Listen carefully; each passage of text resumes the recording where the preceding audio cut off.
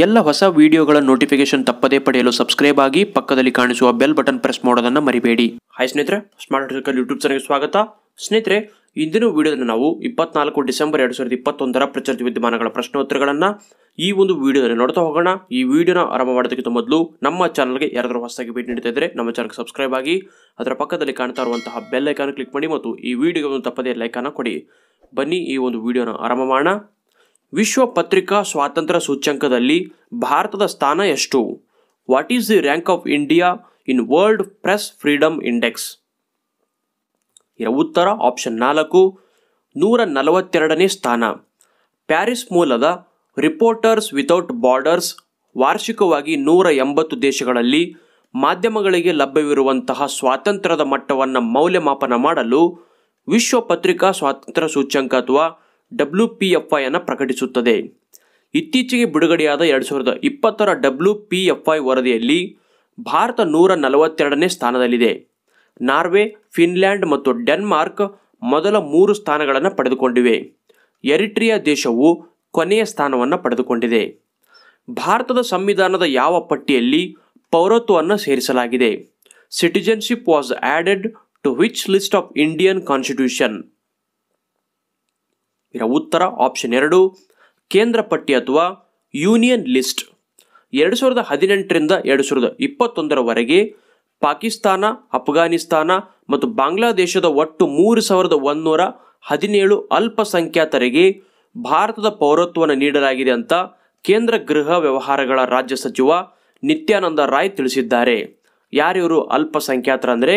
ಹಿಂದೂ, ಸಿಖ್, ಜೈನ ಮತ್ತು ಬೌದ್ಧ ಆಮೇಲೆ ಕ್ರಿಶ್ಚಿಯನ್ ಜನಾಂಗಕ್ಕೆ ಸೇರಿದಂತಹ ಪಾಕಿಸ್ತಾನ ಅಫ್ಘಾನಿಸ್ತಾನ ಮತ್ತು ಬಾಂಗ್ಲಾದೇಶದಿಂದ ವಲಸೆ ಬಂದಂತಹ ಈ ಅಲ್ಪಸಂಖ್ಯಾತರಿಗೆ ಪೌರತ್ವ ಅಥವಾ ಸಿಟಿಜನ್ಶಿಪ್ ಅನ್ನು ನೀಡಲಾಗಿದೆ.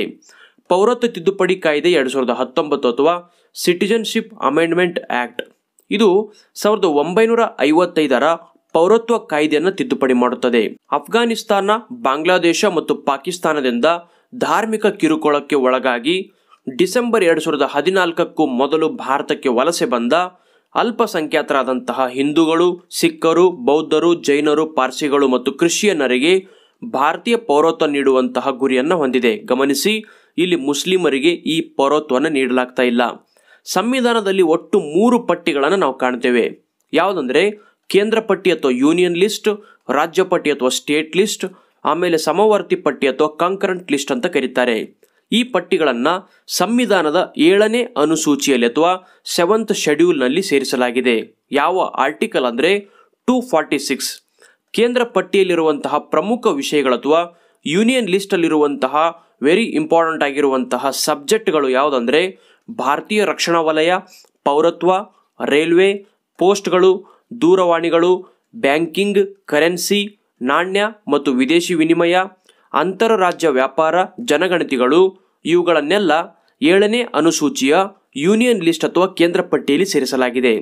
ಆಮೇಲೆ ರಾಜ್ಯ ಪಟ್ಟಿಯಲ್ಲಿರುವಂತಹ ಪ್ರಮುಖ ಸಬ್ಜೆಕ್ಟ್ಗಳು ಅಥವಾ ಸ್ಟೇಟ್ ಲಿಸ್ಟಲ್ಲಿರೋದು ಯಾವುದಂದರೆ, ಸಾರ್ವಜನಿಕ ಸುವ್ಯವಸ್ಥೆ ಅಥವಾ ಪಬ್ಲಿಕ್ ಆರ್ಡರ್, ಪೊಲೀಸ್, ಸಾರ್ವಜನಿಕ ಆರೋಗ್ಯ ಮತ್ತು ನೈರ್ಮಲ್ಯ, ಆಸ್ಪತ್ರೆಗಳು, ಔಷಧಾಲಯಗಳು, ಬೆಟ್ಟಿಂಗ್ ಮತ್ತು ಜೂಜು, ಕಾರಾಗೃಹಗಳು, ಕೃಷಿ, ನೀರಾವರಿ ಮತ್ತು ಕಾಲುವೆಗಳು ಮೀನುಗಾರಿಕೆ ಮತ್ತು ಸುಂಕಗಳು, ಗ್ರಂಥಾಲಯಗಳು ಮತ್ತು ವಸ್ತು ಸಂಗ್ರಹಾಲಯಗಳು. ಏನಿವೆಲ್ಲ ಯೂನಿಯನ್ ಲಿಸ್ಟ್ ಅಥವಾ ಸ್ಟೇಟ್ ಲಿಸ್ಟ್ ಅಂದರೆ ಯೂನಿಯನ್ ಲಿಸ್ಟ್. ಇಲ್ಲಿ ಏನು ವಿಷಯಗಳನ್ನು ಕಾಣ್ತಾ ಇದ್ದೀರಾ? ಇವುಗಳ ಮೇಲೆ ಕೇಂದ್ರ ಸರ್ಕಾರಕ್ಕೆ ಅಥವಾ ಲೋಕಸಭೆಗೆ ಇವುಗಳ ಮೇಲೆ ತಿದ್ದುಪಡಿ ಮಾಡುವಂತಹ ಒಂದು ಅಧಿಕಾರ ಇದೆ. ಸ್ಟೇಟ್ ಲಿಸ್ಟ್ ಅಂದರೆ ಪ್ರತಿ ರಾಜ್ಯಗಳಲ್ಲಿರುವಂತಹ ವಿಧಾನಸಭೆಗಳು ಈ ಒಂದು ವಿಷಯಗಳ ಮೇಲೆ ತಿದ್ದುಪಡಿಗಳನ್ನು ಅಥವಾ ಅಮೆಂಡ್ಮೆಂಟ್ಗಳನ್ನು ಮಾಡಬಹುದಾಗಿದೆ. ಸಮವರ್ತಿ ಪಟ್ಟಿ ವಿಷಯಗಳು ಅಥವಾ ಕಾಂಕರೆಂಟ್ ಲಿಸ್ಟ್ ಇವುಗಳಲ್ಲಿ ಯಾವುದನ್ನು ಸೇರಿಸಿದ್ದಾರೆಂದರೆ ಶಿಕ್ಷಣ, ಅರಣ್ಯ, ಕಾರ್ಮಿಕ ಸಂಘಟನೆಗಳು, ಮದುವೆ, ನ್ಯಾಯಾಂಗ ನಿಂದನೆ ಕ್ರಿಮಿನಲ್ ಕಾನೂನು, ಅರಣ್ಯ ಸ್ಟ್ಯಾಂಪ್ ಡ್ಯೂಟಿ ಪತ್ರಿಕೆಗಳು, ಪುಸ್ತಕಗಳು ಮತ್ತು ಮುದ್ರಣ ಯಂತ್ರಗಳು. ಈ ವಿಷಯಗಳ ಮೇಲೆ ಕೇಂದ್ರ ಸರ್ಕಾರ ಹಾಗೂ ರಾಜ್ಯ ಸರ್ಕಾರ ಎರಡೂ ಕೂಡ ಒಂದು ತಿದ್ದುಪಡಿಗಳನ್ನು ಮಾಡಬಹುದಾಗಿದೆ. ಯಾವ ಸಂಸ್ಥೆಯು ಪ್ರಧಾನಮಂತ್ರಿ ಉದ್ಯೋಗ ಸೃಷ್ಟಿ ಕಾರ್ಯಕ್ರಮದ ಅನುಷ್ಠಾನ ಸಂಸ್ಥೆಯಾಗಿದೆ? Which organisation is the implementing agency of prime Minister's Employment Generation Program. ಇದರ ಉತ್ತರ ಆಪ್ಷನ್ ಮೂರು K V I C MSME ಸಚಿವಾಲಯದ ಅಡಿಯಲ್ಲಿನ ಶಾಸನಬದ್ಧ ಸಂಸ್ಥೆಯಾದಂತಹ ಖಾದಿ ಮತ್ತು ಗ್ರಾಮೋದ್ಯೋಗ ಆಯೋಗ ಅಥವಾ ಕೆವಿಐಸಿ ಪ್ರಧಾನಮಂತ್ರಿ ಉದ್ಯೋಗ ಸೃಷ್ಟಿ ಕಾರ್ಯಕ್ರಮದ ಅನುಷ್ಠಾನ ಸಂಸ್ಥೆಯಾಗಿದೆ. ಇತ್ತೀಚೆಗೆ ಉತ್ತರ ಪ್ರದೇಶದ ಬುಂದೇಲ್ಖಂಡ್ನಲ್ಲಿ ಕೆವಿಐಸಿ ಸ್ವಯಂ ಉದ್ಯೋಗ ಚಟುವಟಿಕೆಗಳನ್ನು ಆರಂಭಿಸಿದೆ. PMEGP prime minister's employment generation programme ಇದು ಆರಂಭವಾಗಿದ್ದು ಎರಡು ಸಾವಿರದ ಎಂಟರಲ್ಲಿ ಇದು ಯಾವ ಸಚಿವಾಲಯದ ಅಡಿಯಲ್ಲಿದೆ ಅಂದರೆ ಎಂಎಸ್ಎಂಇ ಸಚಿವಾಲಯ. ಇದನ್ನು ಜಾರಿ ಮಾಡುವಂತಹ ಒಂದು ಸಂಸ್ಥೆ ಯಾವುದಂದರೆ K V I C P M E G ಪಿಯ ಒಂದು ಉದ್ದೇಶ ಏನಂದರೆ ಗ್ರಾಮೀಣ ಮತ್ತು ನಗರ ಪ್ರದೇಶಗಳಲ್ಲಿ ಕಿರು ಉದ್ಯಮಗಳ ಸ್ಥಾಪನೆಯ ಮೂಲಕ ಉದ್ಯೋಗಾವಕಾಶಗಳ ಉತ್ಪಾದನೆ ಮಾಡುವುದು. ಯಾವ ಸಂಘಟಿತ ಸಂಸ್ಥೆಯು ದೇಶದ ಏಕೈಕ ನಿಕ್ಕೆಲ್ ಉತ್ಪಾದಕವಾಗಿದೆ. Which conglomerate is the only nickel producer in the country ಇದರ ಉತ್ತರ ಆಪ್ಷನ್ ಎರಡು, ವೇದಾಂತ ಲಿಮಿಟೆಡ್. ವೇದಾಂತ ಲಿಮಿಟೆಡ್, ಗೋವಾ ಮೂಲದ ನಿಕ್ಕೆಲ್ ಮತ್ತು ಕೋಬಾಲ್ಟ್ ಉತ್ಪಾದಕ ನಿಕೋಮೇಟ್ ಅನ್ನು ಸ್ವಾಧೀನಪಡಿಸಿಕೊಂಡಿದೆ. ಇದರೊಂದಿಗೆ ವೇದಾಂತವು ದೇಶದ ಏಕೈಕ ನಿಕ್ಕೆಲ್ ಉತ್ಪಾದಕ ಎನಿಸಿಕೊಂಡಿದೆ. ಸ್ಟೇನ್ಲೆಸ್ ಸ್ಟೀಲ್ ಮತ್ತು ಇಲೆಕ್ಟ್ರಿಕ್ ವಾಹನಗಳ ಬ್ಯಾಟರಿಗಳ ತಯಾರಿಕೆಯಲ್ಲಿ ಬಳಸಲಾಗುವಂತಹ ಪ್ರಮುಖ ಕಚ್ಚಾ ವಸ್ತು ನಿಕೆಲ್ ಆಗಿದೆ. ಪ್ರಸ್ತುತ ಭಾರತವು ತನ್ನ ನಿಕೆಲ್ ಅವಶ್ಯಕತೆಗಳ ನೂರು ಪ್ರತಿಶತವನ್ನು ಆಮದು ಮಾಡಿಕೊಳ್ತಾ ಇದೆ. ಹೆಚ್ಚಿನ ಮಾಹಿತಿಯನ್ನು ನೋಡೋದಾದರೆ, ವಿದ್ಯುತ್ ಇಸ್ತ್ರಿ ಪೆಟ್ಟಿಗೆಯಲ್ಲಿ ಬಿಸಿಗೊಳ್ಳುವಂತಹ ಮೂಲ ವಸ್ತುವನ್ನು ತಯಾರಿಸಲು ನಿಕೆಲ್ ಲೋಹವನ್ನು ಬಳಸ್ತಾರೆ. ಕೋಬಾಲ್ಟ್ ಸಿಕ್ಸ್ಟಿಯನ್ನು ಕ್ಯಾನ್ಸರ್ ರೋಗದ ಚಿಕಿತ್ಸೆಯಲ್ಲಿ ಬಳಸಲಾಗುತ್ತದೆ. ಕೋಬಾಲ್ಟ್ ಮತ್ತು ನಿಕೆಲ್ ಲೋಹಗಳ ಒಂದು ಗುಂಪನ್ನು ಟ್ರಾನ್ಸಿಷನ್ ಮೆಟಲ್ಸ್ ಅಂತ ಕೂಡ ಕರೀತಾರೆ. ಯಾವ ರಾಜ್ಯ ಅಥವಾ ಕೇಂದ್ರಾಡಳಿತ ಪ್ರದೇಶದ ಕ್ಷೇತ್ರ ಪುನರ್ ವಿಂಗಡಣೆ ಆಯೋಗವು ವಿಧಾನಸಭಾ ಸ್ಥಾನವನ್ನು ಹೆಚ್ಚಿಸಲು ಶಿಫಾರಸು ಮಾಡಿದೆ.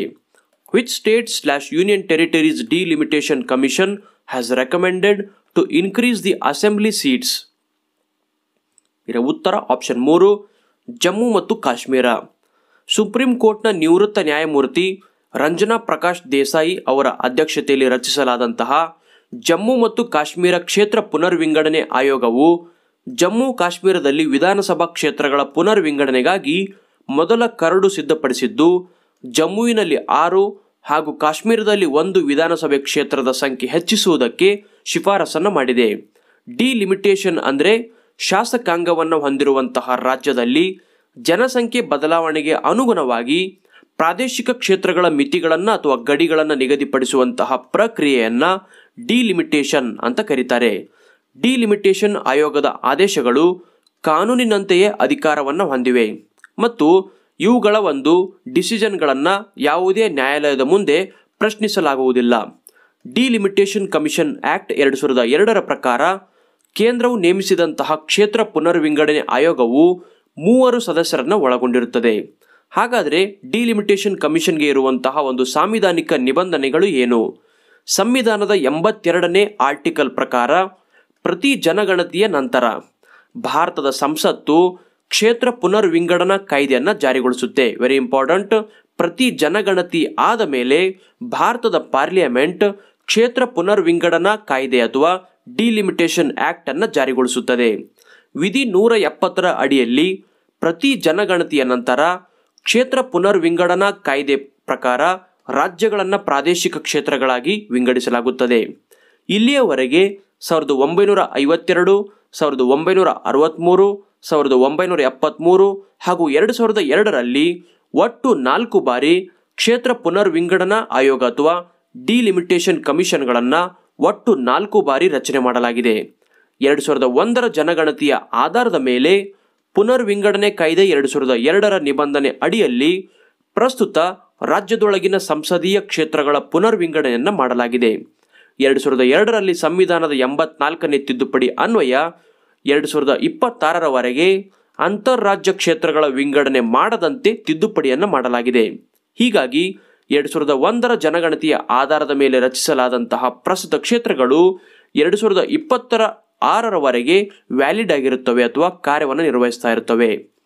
ಐದುನೂರು ಕೆ ಜಿ ಸಾಮರ್ಥ್ಯದ ನಿಯಂತ್ರಿತ ವೈಮಾನಿಕ ವಿತರಣಾ ವ್ಯವಸ್ಥೆಯನ್ನು ಯಾವ ಸಂಸ್ಥೆಯು ಅಭಿವೃದ್ಧಿಪಡಿಸಿದೆ? Which organisation has developed controlled aerial delivery system of five hundred K G capacity ಉತ್ತರ ಆಪ್ಷನ್ ನಾಲ್ಕು A D R D E D R D O ಸಂಸ್ಥೆಯ ಆರ್ ಎನ್ ಡಿ ಲ್ಯಾಬ್ ಐದುನೂರು ಕೆ ಜಿ ಸಾಮರ್ಥ್ಯದ ನಿಯಂತ್ರಿತ ವೈಮಾನಿಕ ವಿತರಣಾ ವ್ಯವಸ್ಥೆ ಅಥವಾ C A D S five ಹಂಡ್ರೆಡ್ನ ಒಂದು ಹಾರಾಟದ ಪ್ರದರ್ಶನವನ್ನು ನಡೆಸಿದೆ.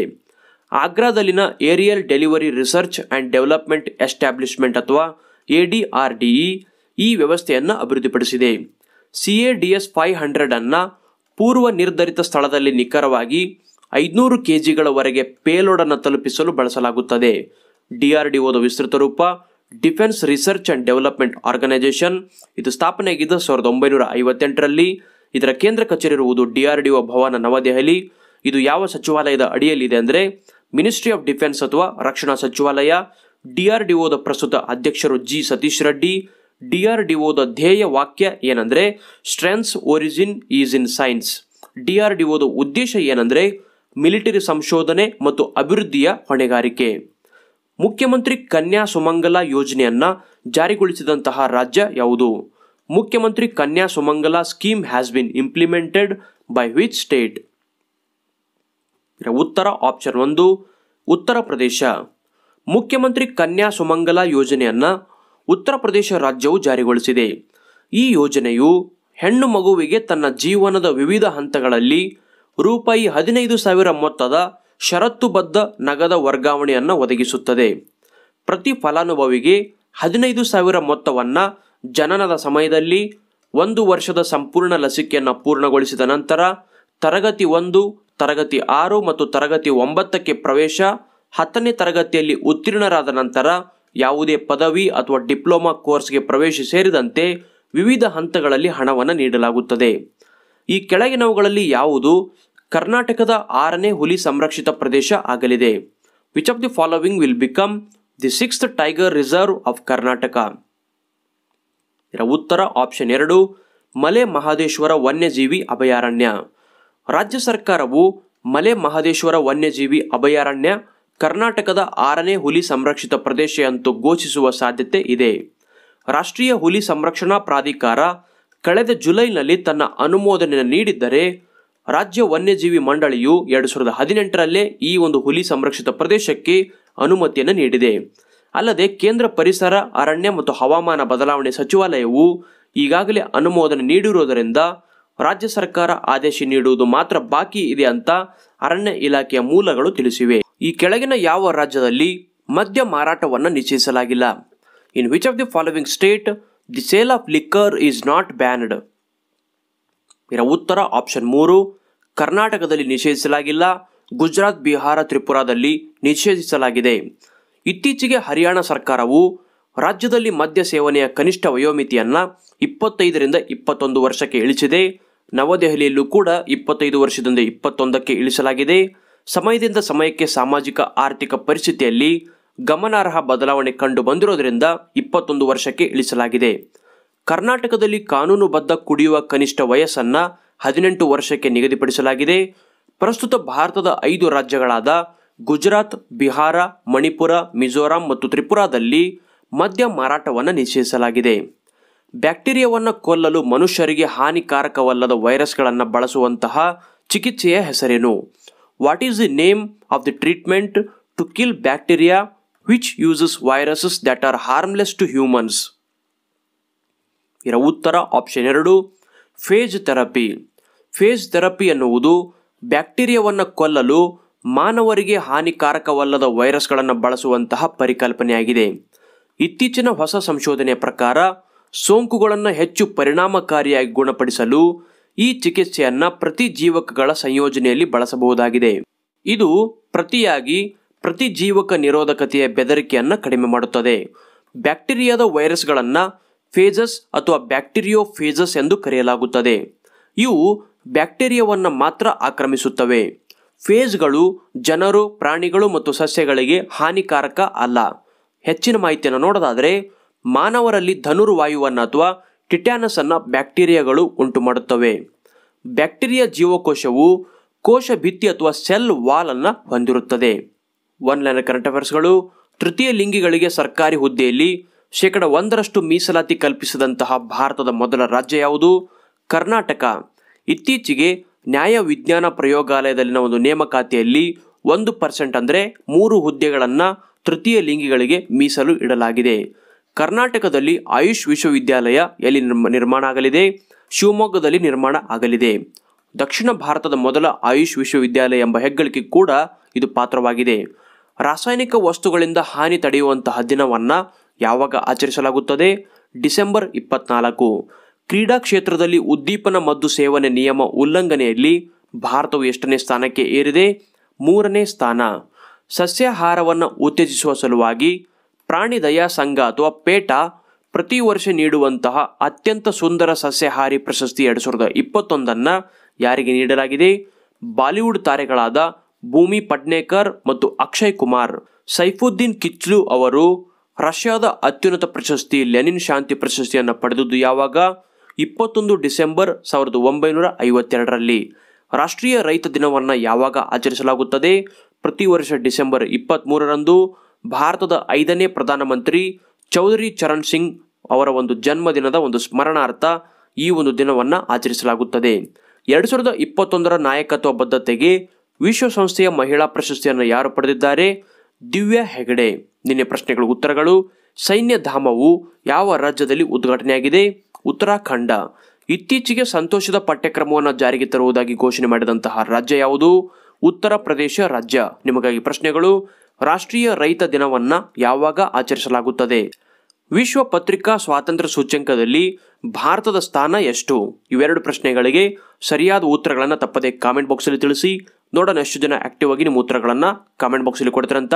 ಆಮೇಲೆ ನಮ್ಮ Telegram group Telegram channel Instagram page ಹಾಗೂ ಫೇಸ್ಬುಕ್ ಪೇಜ್ಗಳಿಗೆ ಇನ್ನೂ ಯಾರಾದರೂ ಜಾಯ್ನ್ ಆಗಿಲ್ಲ ಅಂದರೆ ಸ್ಕ್ರೀನ್ ಮೇಲೆ ಕಾಣಿಸ್ತಿರುವಂತಹ ಒಂದು ನಂಬರನ್ನು ಸೇವ್ ಮಾಡಿಕೊಂಡು, ಈ ನಂಬರ್ಗೆ ಟೆಲಿಗ್ರಾಮ್ ಆ್ಯಪ್ನಲ್ಲಿ ಖುದ್ದಾಗಿ ಮೆಸೇಜ್ ಮಾಡಿ. ಈ ನಂಬರ್ಗೆ ಮೆಸೇಜ್ ಮಾಡಿದವರಿಗೆ ಎಲ್ಲ ಚಾನಲ್ಗಳು ಗ್ರೂಪ್ಗಳ ಲಿಂಕ್ಗಳನ್ನು ಉಚಿತವಾಗಿ ಫಾರ್ವರ್ಡ್ ಮಾಡಲಾಗುವುದು.